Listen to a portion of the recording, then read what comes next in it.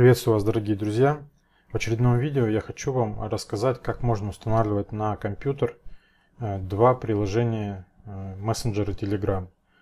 По умолчанию э, ставится одна программа и нет возможности внутри самой программы создавать два аккаунта для того, чтобы можно было переходить между ними и использовать свои контакт-листы.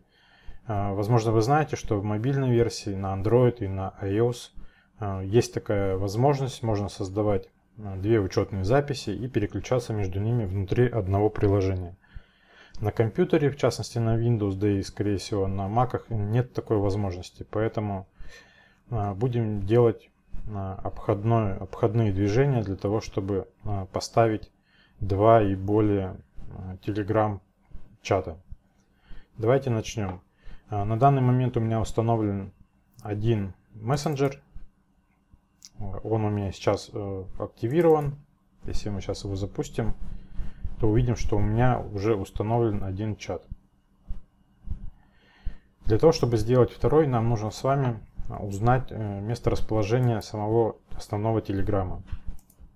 Для этого, если у вас есть ярлык в, на рабочем столе, либо кнопка пуск здесь найти телеграм, и правой кнопкой мыши мы нажимаем и находим свойства.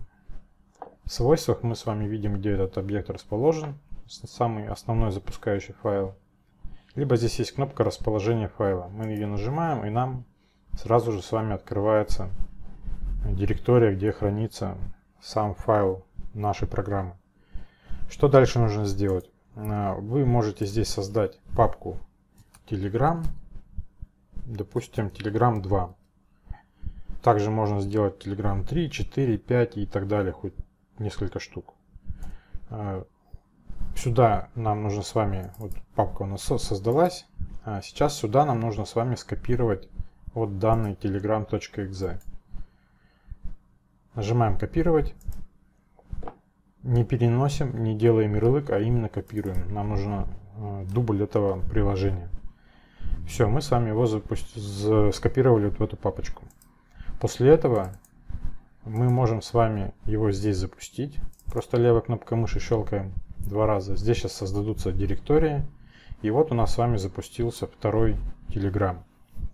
Сейчас мы изменим ему язык а, на русский. Сейчас тут обновление пройдет. Продолжить на русском. Все, вот у нас русифицировался. И давайте теперь попробуем его а, активировать.